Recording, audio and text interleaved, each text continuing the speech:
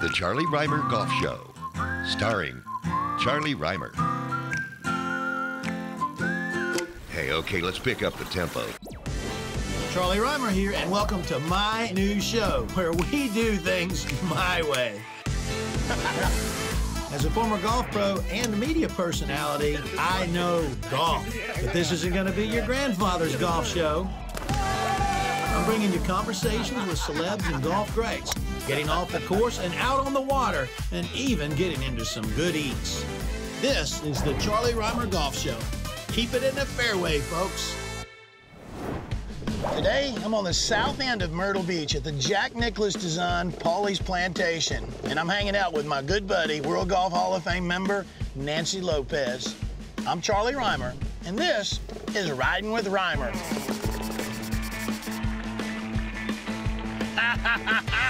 Nancy Lopez. Hello. Welcome to Myrtle Beach and Pawleys Thank Plantation. you. Great Thank to see you. Thank you. We have got a wonderful golf course today designed by Jack Nicklaus. I've got you loaded up. Hop in the cart. I can't wait to get you out there. I can't wait to get out there either.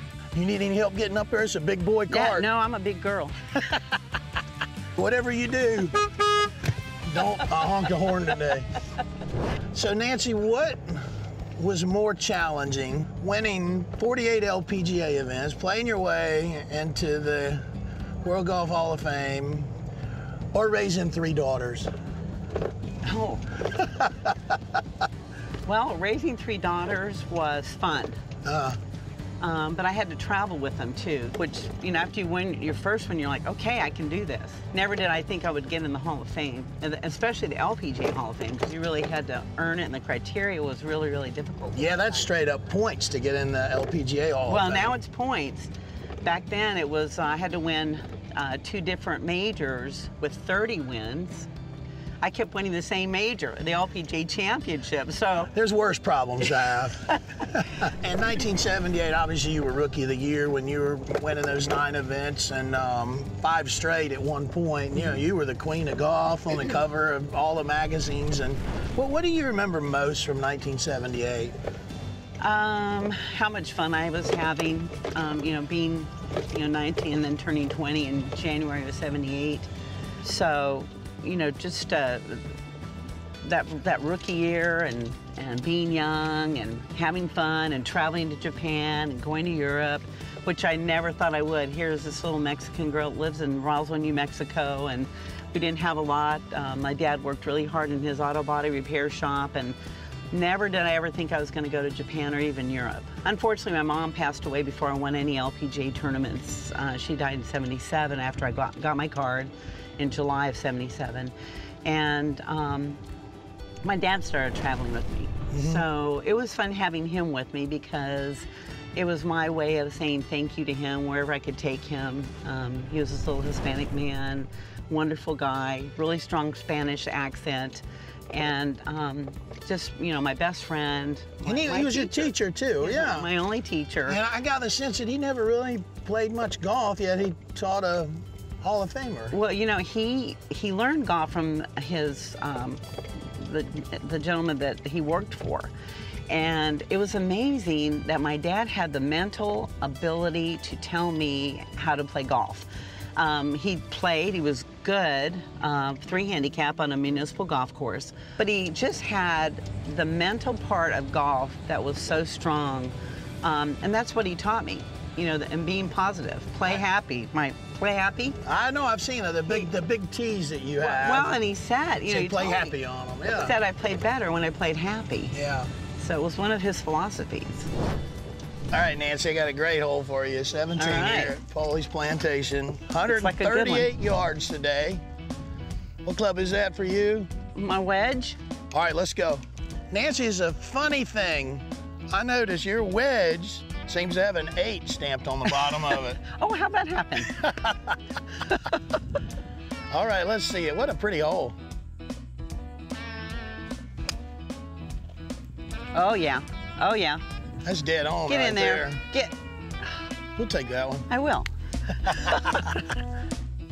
I've got more in store for you, so don't click that clicker.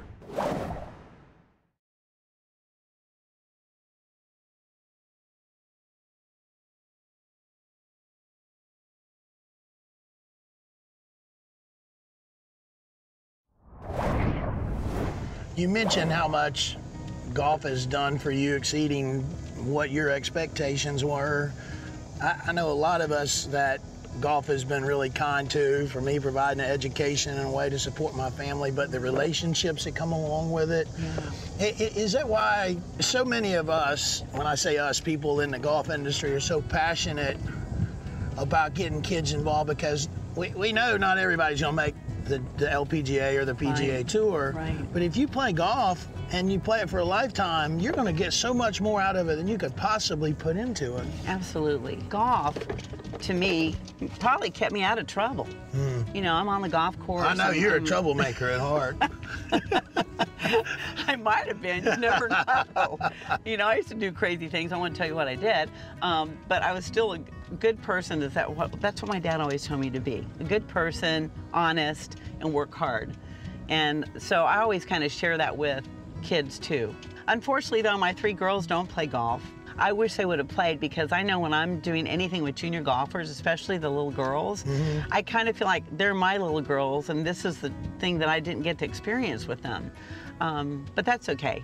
I, I think a lot of golf fans out there, they, they look at golf professionals and they don't see humans that are dealing with spouses or dealing with children. Sort of look at golf pros as like robots. I'm more interested in telling that sort of story or finding out what's going on with a player, things that you can't measure with a laser or put in a spreadsheet because people don't realize how emotional playing this game is and how you still have to deal with life even though you're a golf professional. No, abs- absolutely, Charlie. I know, you know, um, I'm married now, my third time, so my personal life wasn't always perfect, um, but I have three great daughters from it.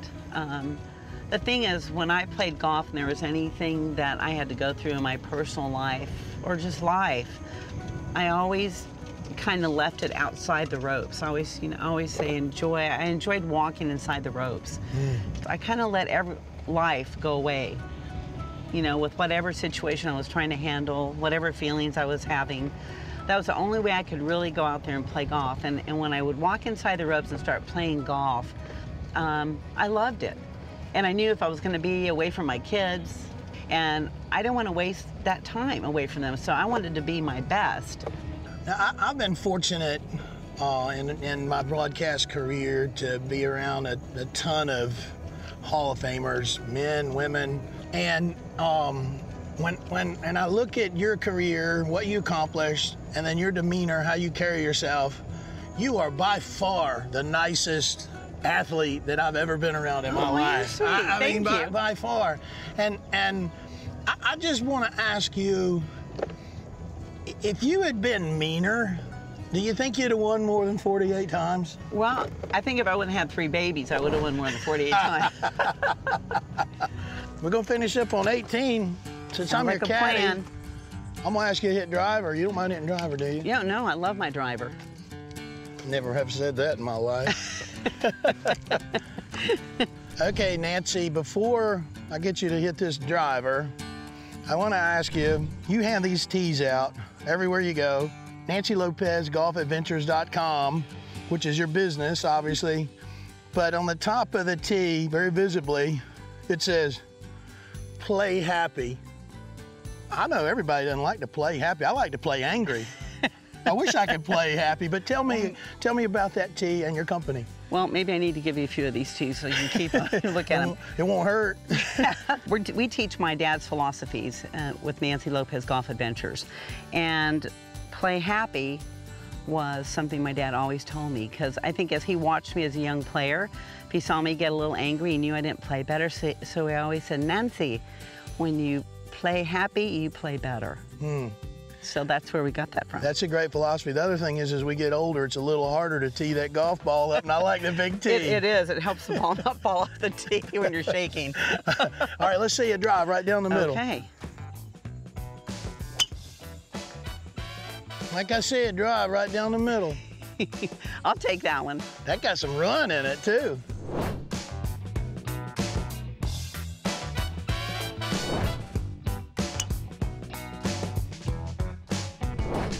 Nancy, I know you got a lot of places you can be on a day like this. Uh, I can't tell you how much it means to me uh, for you to come spend the day with me here in Myrtle Beach. Well, Charlie, anytime. I had a great time today.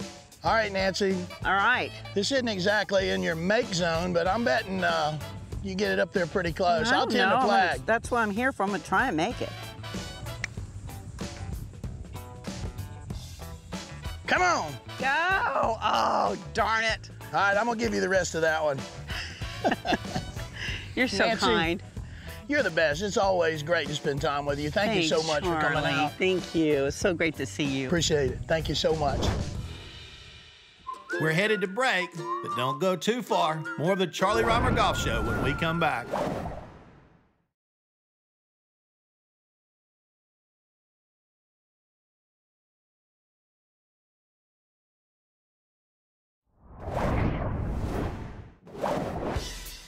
Nothing beats golf in Myrtle Beach. I'm showing off and playing some of our best courses, all while giving you some advice for your game. This is Charlie's Golf Tips. The par 3 third at True Blue might be the strongest par 3 in all of Myrtle Beach. Think about that, folks. There's a lot of great par 3s in Myrtle Beach. It sure helps when you're playing this hole if you can take it in there high, and you absolutely have to stripe it or you're going to be swimming. How do you take it in high? Well, have a look. So here's what I got. Nearly 200 yards over an alligator-infested pond to a very skinny area. What this calls for is a moon ball. That's right, folks, a moon ball. I gotta launch this straight up in the air. Now, how am I gonna do that? Well, I got two things for you. Number one, you can see I got that ball teed up. That's gonna help me get this ball up in the air. I don't wanna take a divot. I wanna sweep it off of that tee. The second thing I wanna do is I wanna have a high finish. I want my shaft to finish between my left ear and my left shoulder. If I'm swinging high, in particular, picking up off of that tee, I'll hit this ball really high. Come on, moon ball.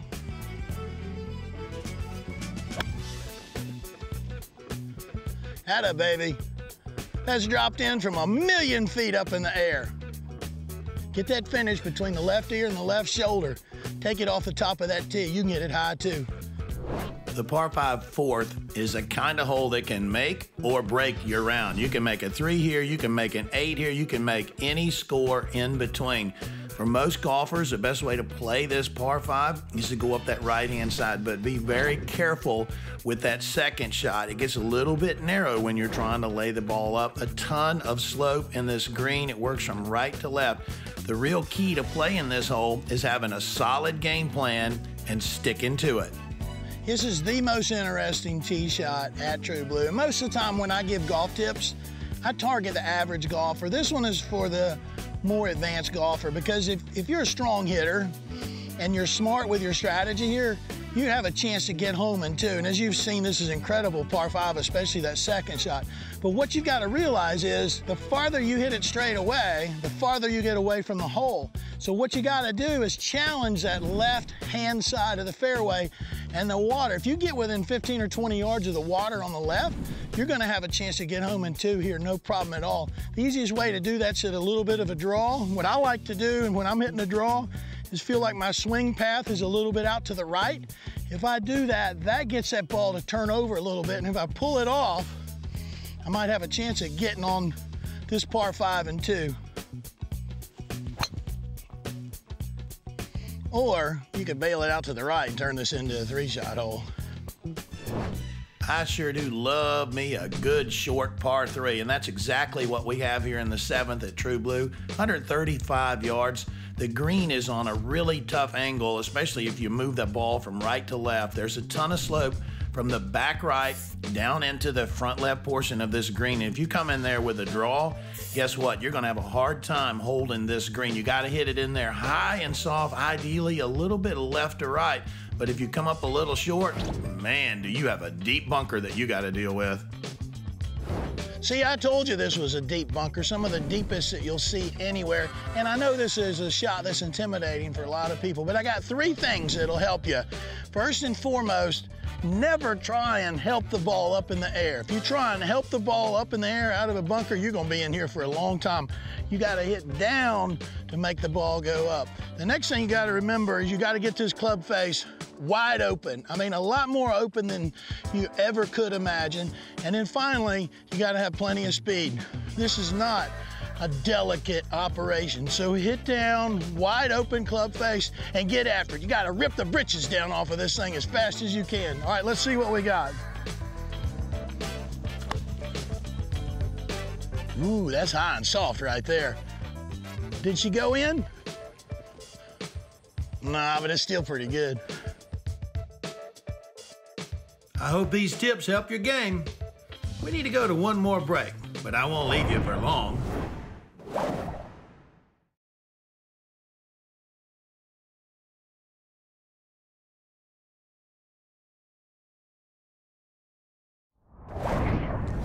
I've got really no idea what I'm doing, DJ. They write this stuff down for me, but it's like the Charlie Rymer Golf Show on ESPN. It's a big deal, and I mean, what do you think?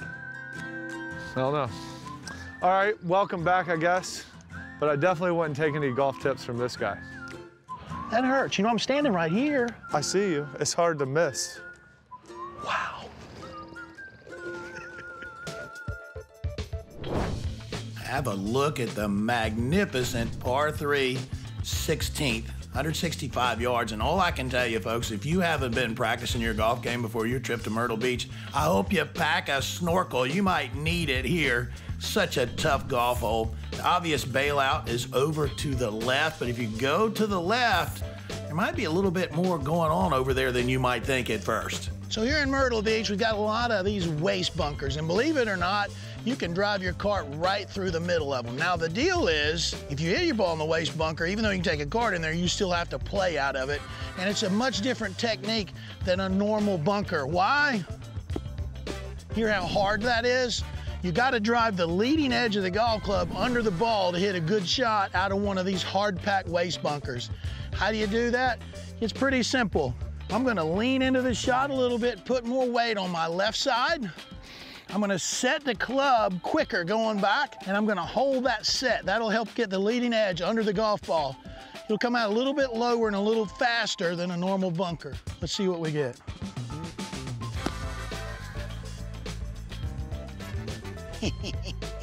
you can't hide talent. At 370 yards, length is not the problem here at the 17th at True Blue. The issue is visual intimidation. Yes, when you stand up on that tee, it looks like there's nothing but water out there. Couldn't be further from the truth. This fairway has plenty of width to it. Just get over it, folks. Pick a small target and put it out there on the fairway. Now, when you're playing your second, the water very much is in play. Obviously, you don't want to shoot at that front right hole location. Most of the time, the best thing to do is to take it in on that left side. And if you miss a little short and left, as you can see, no problem at all. Here's how you tackle that third shot from short and left. One of the things I really like about True Blues, there's a lot of closely mown areas around the greens, and that gives you a ton of options. What does that mean? Well, I'm a little short and left here, 17. I got three main options. I can take the putter, and that pretty much takes disaster completely out of play. I'm not gonna hit a horrible shot with a putter. If I wanna sort of take on maybe a little bit more risk, but also have the potential to have some reward. I'm gonna go with a pitching wedge. I'm gonna put it back in my stance, and I'm gonna run it up there. Pretty good play there. And if I absolutely have to make it, and I don't really care if I hit a bad shot that's gonna embarrass me, I'm gonna take my lob wedge and I'm gonna try and fly this all the way to the hole. Comes up a little bit short, and that's the danger of hitting the lob wedge. The other two, they look like they're the way to go to me. Ah, take a deep breath, soak it in. This is one of the best finishing holes you'll find anywhere. It's absolutely beautiful. Most players can pull the driver and blast away. The line is the far right edge of the clubhouse. Now, if you're a little bit longer off the tee, you might think about taking a three wood because that fairway does run out pretty quickly on the right hand side. There is a ton of slope both in the fairway and at the green that you have to deal with when you play this 18th hole. Here's how you tackle that. So there's a couple things going on here, the 18th hole. Let me go over them for you. First and foremost, this whole fairway tilts from right to left. That's gonna wanna make the ball work to the left. As you may have noticed, there's some water left of this green, and that's never good. The other thing that's going on is the green itself as Johnny Miller always talked about, has sideboards. There's a lot of slope up there working from right to left. You got to pick up on stuff like that. What I'm to do is aim this ball out 50, 60 feet right of the hole. I'm to let this slope here in the fairway get that ball moving right to left, and then I'm to let the slope on the green help me get this one in close to the hole.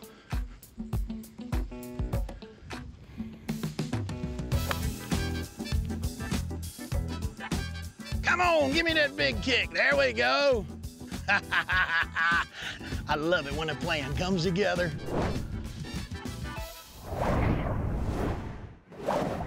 Hear those crickets waking up? Sounds like it's time to close out another episode. I'm a firm believer that laughter is a key to a happy life. And it's certainly a prescription for the tough times. And I'll bet you haven't had a single great moment in your life that didn't involve laughter with friends and loved ones, or at least a big smile if you were by yourself. Now, I'm not saying laughter is a cure to hitting three straight balls out of bounds to the right on number seven, but it's gonna get you back to the golf course the next day. Same with life. Hope you've enjoyed the Charlie Rymer Golf Show and keep it in the fairway, folks.